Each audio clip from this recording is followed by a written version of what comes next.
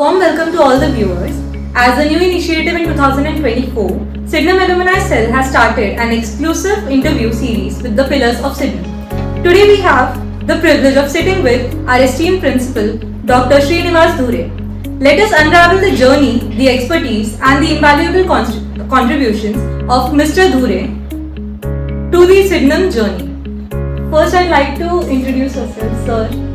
Yeah, Jai Hind, all viewers, as well as you. Thank you for giving me an opportunity to express myself uh, to the viewers. So my journey would be like I am associated with the Government College of Maharashtra. Now I'm shifted to Sydenham College in 2014, and then I took a charge of principal in month of February 2023 after that i could get many opportunities to do certain things with students where uh, the Sydenham culture is the student driven culture. So we started working on that again. Some of the societies were reborn and some of the activities were again restarted. So in that we got much help from the alumni as well. Because many of the alumni uh, whenever they used to come they used to say that the contribution of Sydenham to their career is like whatever they could achieve, it is only because of the culture of the Sydenham. So we try to revive that culture, in which uh, I mean still we are on the way. There is a long way to go, so we are hoping for the best. Thank you so much, sir. Uh, sir, as you mentioned, you are you have started this in 2023 February, so it's almost been a year. So let us start with a fun question. What is the best thing that you like about Sydenham College uh, so far?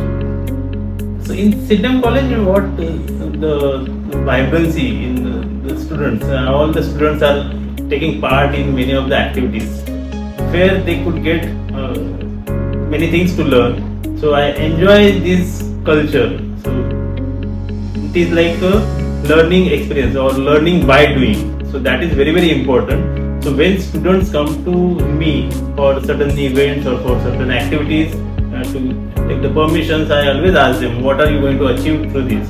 So when they say certain things like we will achieve this or that, but more than that, whatever the development, personality development, because of those events, because of that activities, what students could get, that makes me more happy. That is why, and it motivates me also. And then students also realize that whatever benefits they may feel, which may be tangible, but other than that, within themselves, they could get certain confidence as well. That is very, very important. And once students realize, then they come up with new ideas. That idea generation, that is very important. And these idea generations can be, I mean, maybe in the class, but implementation of those ideas, that is very important. And that aspect is through these activities only. So whenever students do more and more activities, I believe that they will get more and more confidence as well. I agree with, with you, sir. The experience and the confidence, the leadership that we build up with all the activities, that matters a lot. Yes, absolutely. So, what was the biggest challenge you faced during adjusting towards the new college, the Sydenham?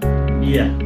But the very, I mean, the, there are many challenges. In fact, what we could get uh, is that all of us faced uh, some very challenging years during the COVID. So what happened is during those two to three years of lockdown, students were used to have the online sessions and they were not having those exposures, whatever we used to give them in the college. So like even interacting with peers, that also gives more and more confidence to the students. But that was lacking to these two to three years. So that gap is very much for the students. So when we say that we, we believe in this kind of legacy, because Sydenham is having the legacy of these activities. So it runs more than 20 societies.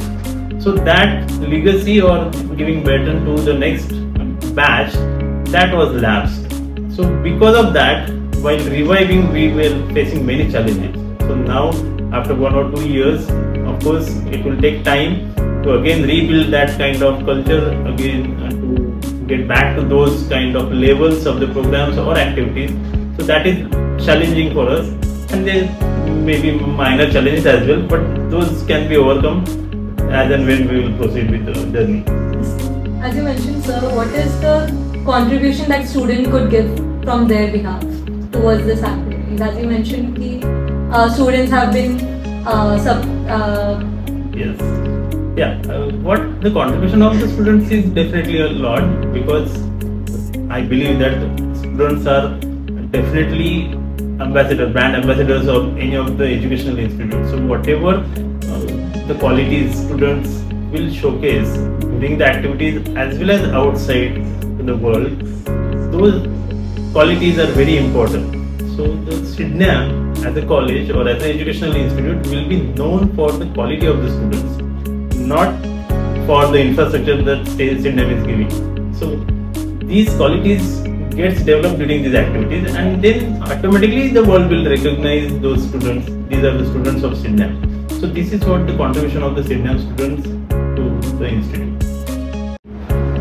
So, what is your personal favorite extracurricular activity a person, a student should pursue?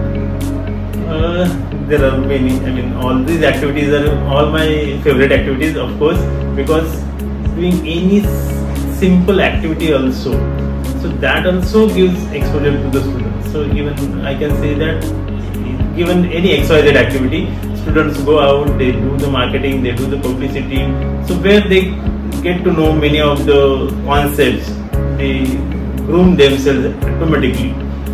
But I believe that the activities of like social cause activities done by our NSS unit, SSL units, Rotaract, they go to some extra miles. Not only the fun part of the activities, but uh, the activities which gives them some social responsibility as well. So their students get more and more values inculcated within themselves. So those activities are very important and I believe that each and every student should take some part of some of the activities of this uh, social cause of NSS and SSL. So even uh, I was a NSS program officer at uh, the college earlier in my career.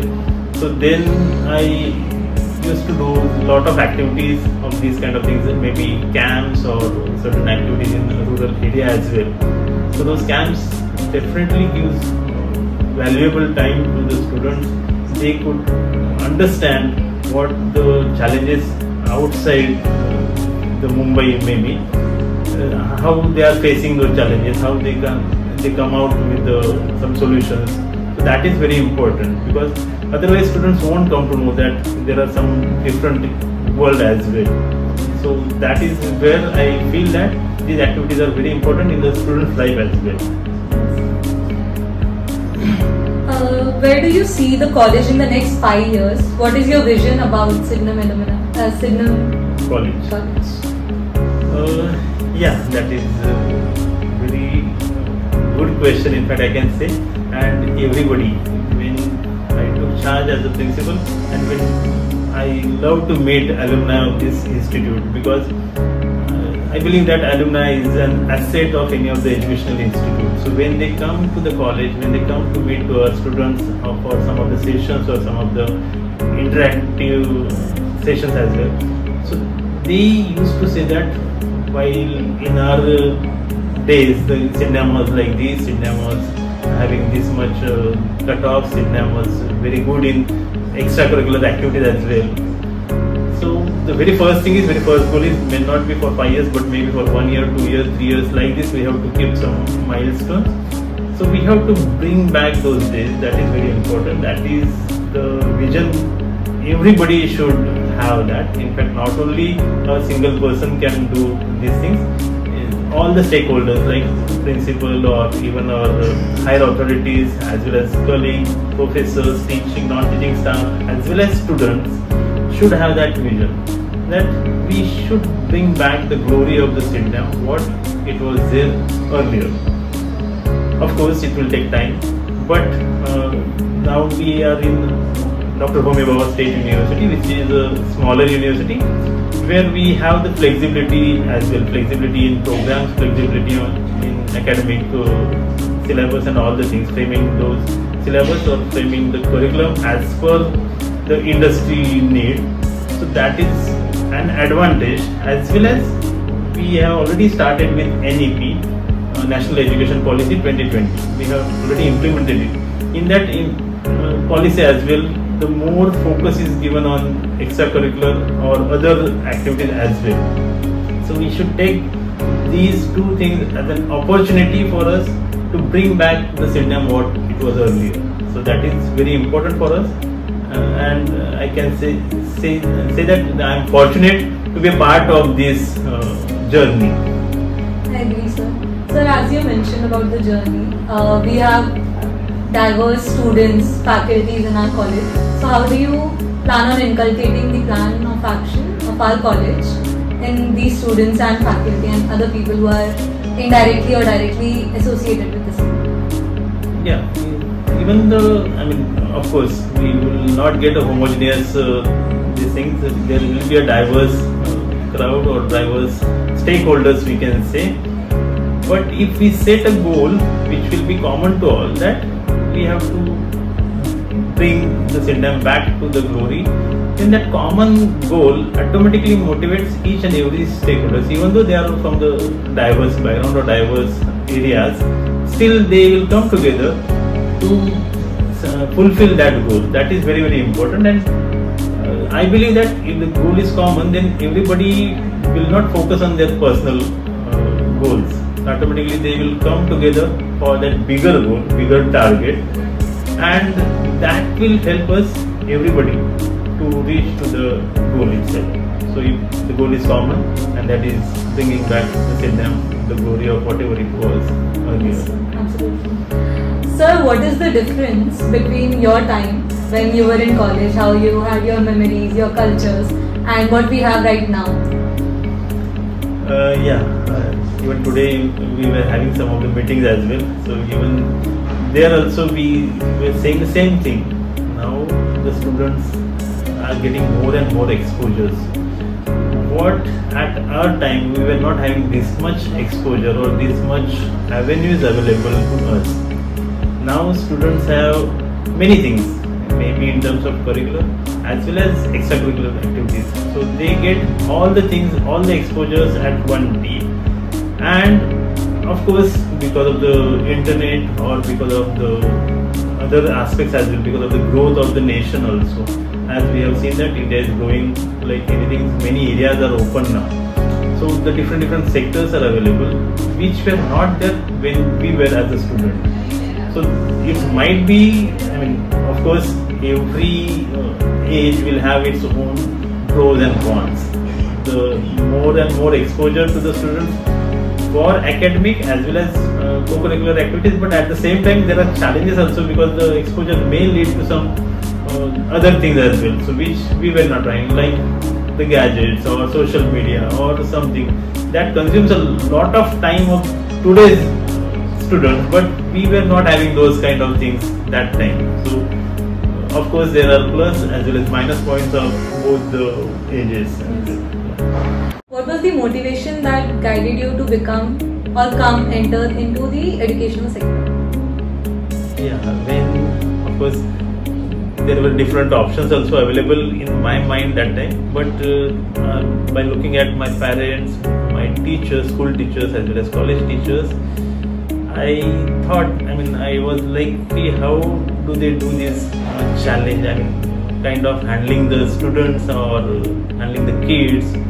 So that was a little bit challenging, which I failed, and I personally try to accept the challenge.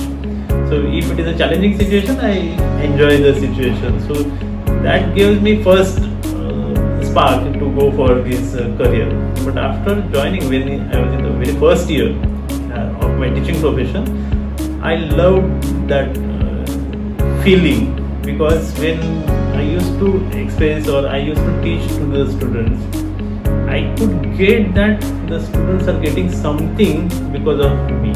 So that feeling or that expression from the students that motivated me to continue my career and of course uh, now we can understand when we are in a class or when i'm teaching or when i'm conducting any session i could guess I mean, what the the feeling of the student is is he happy with whatever i am delivering or whether he is not understanding or anything. By looking at the expression in the eyes of the students, I could get that. So again, going to the class, different different years, new student comes. So again, interacting with the new students. It's not only that we teach the students. I believe that even sometimes students also teaches certain parts of life to teacher as well. So that also becomes a kind of good journey for me. So, what was the biggest challenge that you faced when you entered your career path? Uh, there were many challenges because the, the career which I have chosen was not as easy as it seems to be. The biggest challenge is making students more comfortable with you. That is very first thing, and very important thing is uh, we must see to it that the career of the students depends on how I am teaching them. So that is the biggest challenge. So if I teach them simply just as a teacher, then it is of no use because the students will get the knowledge from somewhere else also. Nowadays to Google, otherwise in books also. But motivating them, mentoring them, trying to justify my role, that is the challenging one. Not only as a teacher, but as a motivator. I look at it as a motivator or as a mentor to the student. That is the challenging situation because sometimes students may not be interested in your lecture or your session. That time, making that lecture more interesting, that becomes a challenge. Yes. And uh, I enjoy that accepting that challenge. Okay. So, what do you think about the rebranding of our college that was that we are carrying out with our alumni? Uh, yeah, uh, of course, Sydenham is definitely fortunate enough to have a support of our strong alumni. They all come for of the sessions or they spare their valuable time because they are stalwarts in their uh, areas. They come here and help our students. So, Sydenham alumni even if they come here for half an hour or even for five minutes interacting with the students that motivates the students so while doing this exercise we came up with the idea with, with the help of alumni that the Sydenham can be rebranded again. We have to do certain exercises for that. So that is what we are trying to do. We kept an uh, vision of three years. So over the three years, how the Sydenham should grow, how the Sydenham should be rebranded, with the help of, of course, students, all stakeholders like uh, teachers, parents, as well as alumni. Of course, when we are taking such rebranding uh, exercise, it, it involves a lot of things. We have to consider uh, all the aspects like students, students' qualities in terms of academic as well as co-curricular activities, their personality development. So for that, many activities are to be conducted, like their soft skill training, their training part. Apart from their academic uh, course or syllabus, the training part in soft skills that is also very important. So these activities, if we start carrying out, then definitely we will get uh, good results also.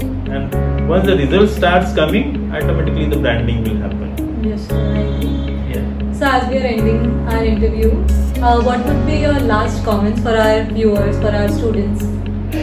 Yeah. Uh, to viewers as well as to my all students. So whenever we are in Sydenham, we should always think of we are Sydenhamite.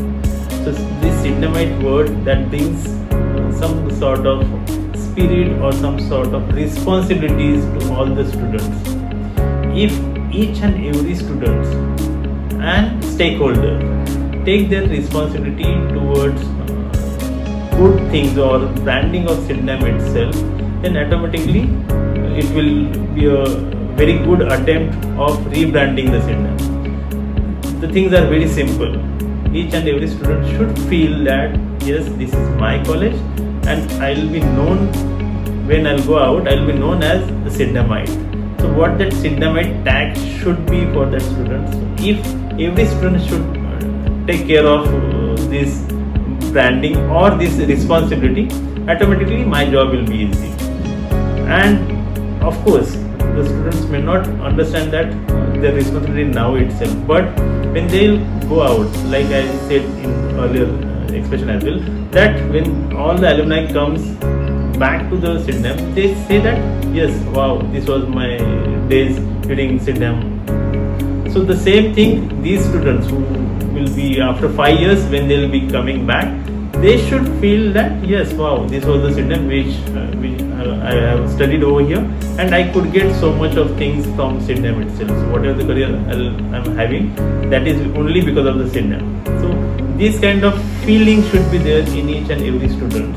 So that is what I appeal to all my students as well as viewers.